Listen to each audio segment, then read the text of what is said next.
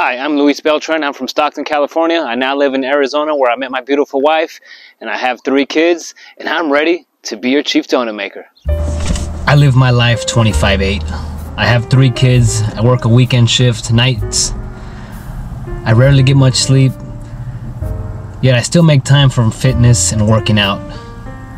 I've done quite a few cool things in my lifetime. I've been a police officer. I worked in prison for a few years and it's taught me to, you know, look at life in a variety of ways.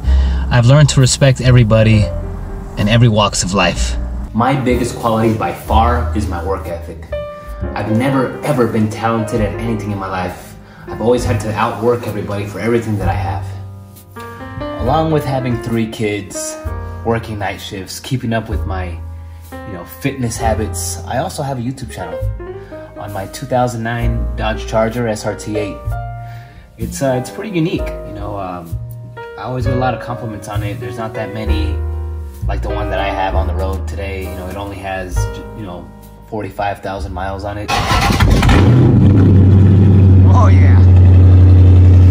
And as far as creativity goes, uh, you know, my kids say I'm this really funny guy. Oh, look, there's me washing my car.